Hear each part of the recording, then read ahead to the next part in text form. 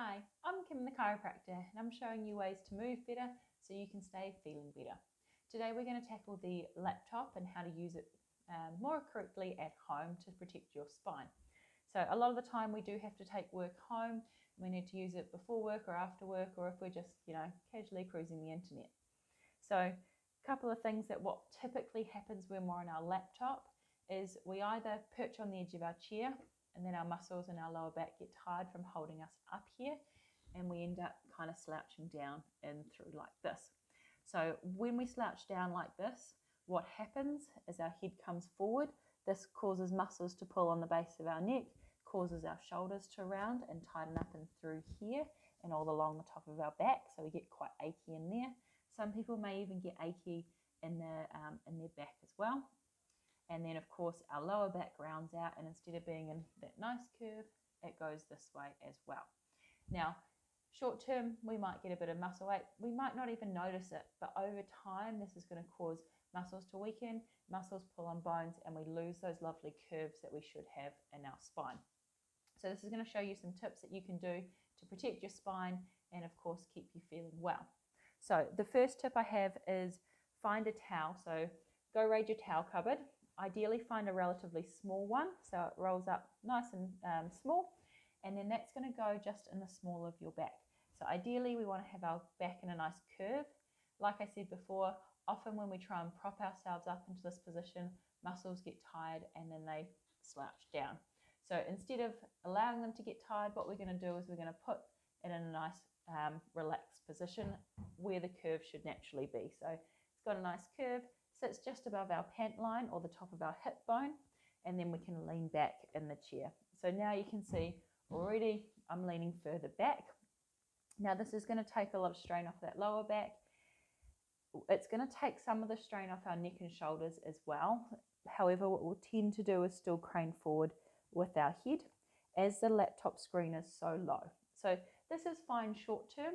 Short term, what I'd recommend every 20 or 30 minutes, roll your shoulders back, tuck your chin in, and do a little look up at the ceiling. So reset your posture and then go back to doing whatever you're working on. This just gives those muscles a break so you're ready to go again, uh, prevents you from getting further and further stooped in your chair. If, however, you're going to be doing this um, quite regularly, you have to take home work often, or you often are on your laptop in the weekend for more than a couple of hours, what I'd recommend is you invest in a, uh, in a mouse and a keyboard.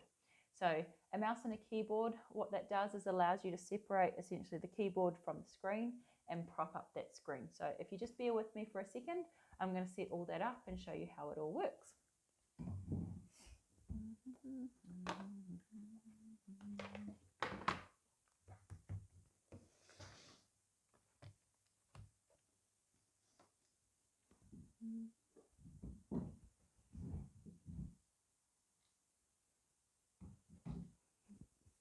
Alrighty, so what you can see here is I still have my lower back curve um, in through here from that lovely towel that I had earlier.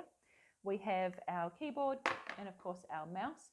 And what I've done is just propped up my laptop on a couple of textbooks actually. Um, now you may not have textbooks lying around, but a lot of the time we have books, cookbooks, that sort of stuff, kids' toys sometimes are nice and square, a box, um, some wood planks, anything that's going to raise up that screen.